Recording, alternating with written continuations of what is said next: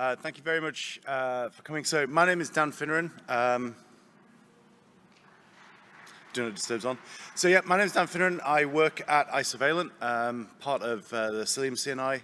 Uh, I'm a maintainer of um, some load balancer projects and bare metal provisioning projects, and I've been quite fortunate recently to uh, get involved in some of the telco uh, projects, working with um, helping them kind of get some of their applications running. And this is a session really about some of the problems that I face, uh, some of the, I guess, uh, innovative solutions that we've had to kind of come up with in order to actually get traffic in and out of Kubernetes clusters in a way that makes sense.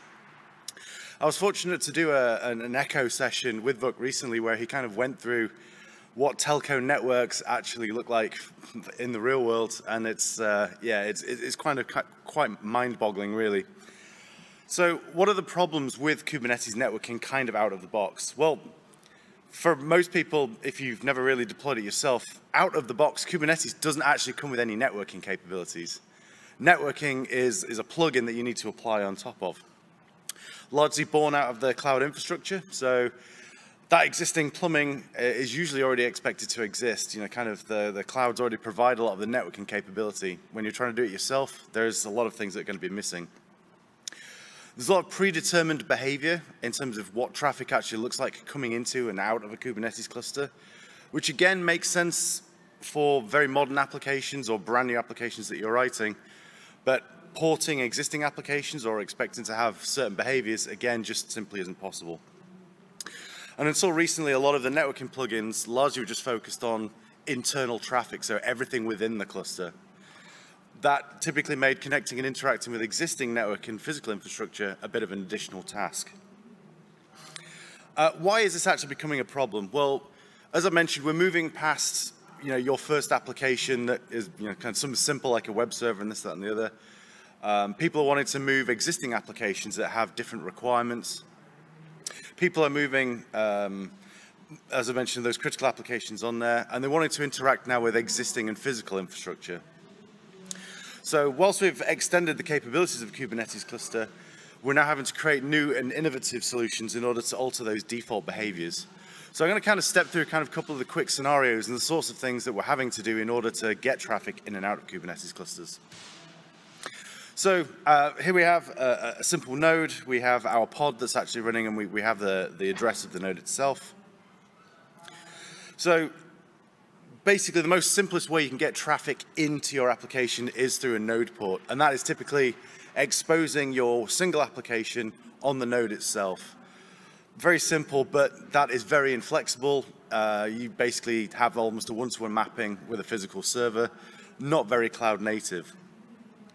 So the alternative really there is to implement a load balancer solution. In the real world, uh, you know, in, in, physical environments, that typically means adding additional IP addresses, letting the infrastructure know that that new IP address actually works, and then getting the traffic to that new IP address. We can do that pretty simply with kind of layer two and adding addresses in. You can actually do it kind of manually through manual steps if you want to go down that route.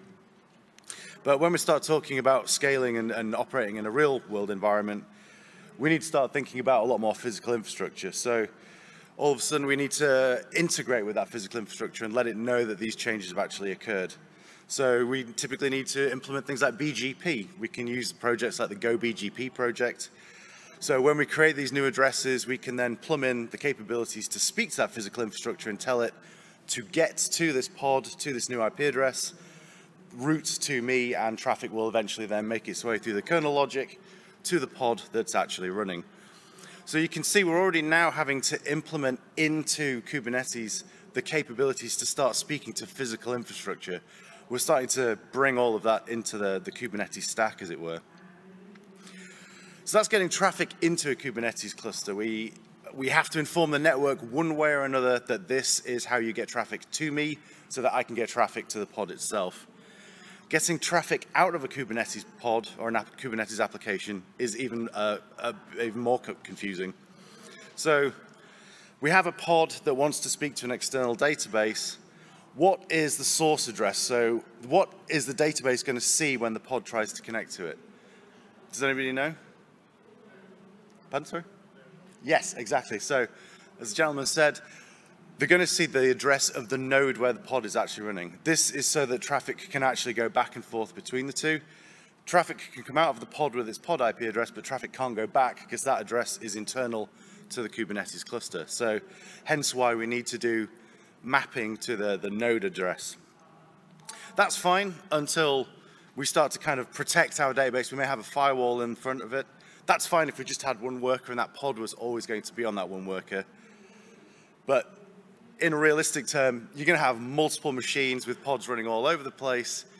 And it doesn't take long before you end up with whack-a-mole in your firewall because your pod's moving around and the, the, the, source address is always changing to one of those new nodes. If you're continuously killing and developing, uh, implementing new nodes as well, at the end, your firewall is largely going to become redundant because you've basically had to put everything in there at some point or another because you're going to need it to, to access that. So how do we fix this problem to ensure that we have stable addressing so that the, the, the program, the, the endpoint that we're trying to access always has stable addressing?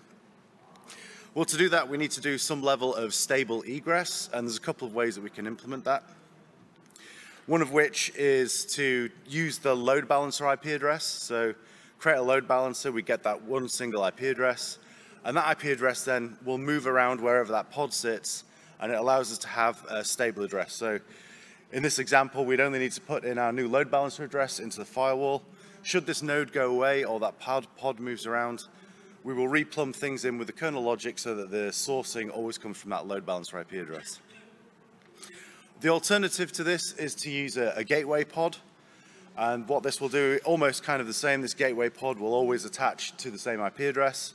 And traffic from that pod will be routed through that gateway so that regardless of where the pod is actually running, traffic goes through that gateway and it always appears as though it's coming from the same address. So these are kind of the two main problems that we're starting to see in kind of the telco world at the moment is getting traffic to those telco applications and having stable traffic coming out of, um, out of those applications. What is powering all of this at the moment? So the kernel logic at the moment, um, NetFilter is typically the the way of doing things typically at the moment, that's actually changing. So IP tables is still largely powering most things inside a Kubernetes cluster. Um, a lot of that is moving to NF tables. In fact, some of the distros are forcing that upon us in a pretty broken state at the moment, but that's out of my hands. But we're moving towards eBPF. Um, a lot of the projects have adopted that. So projects like Cilium are doing a lot of the egress through eBPF. Some of the other projects that I'm being part of, we're going to start adopting eBPF to move things forward as well. So as we move to more modern kernels, we'll be able to have much more stable behaviors inside our, inside our clusters. So in conclusion, um, the flexibility of Kubernetes and the underlying operating systems is allowing us to move past these default behaviors, which have made sense in the cloud, but are becoming a hindrance and a bit of a burden in telco and on-prem environments. Um, Depending on some design decisions, some of the hacks that we've had to implement almost fight against these existing components. For instance, egress actually, some of the things we've had to do with egress fight against the default behaviors of CNIs. Um, and kind of a final thought to a certain degree, we're having to put infrastructure logic now into different areas of the Kubernetes stack. Should it go into Kubernetes itself or should it live, live in different kind of areas? So with that, that's kind of a quick overview of some of the issues that we're facing in terms of getting traffic in and out, some of the ways that we're kind of getting past those problems. Thank you very much for your time today and hope you have a good conference. Thank you.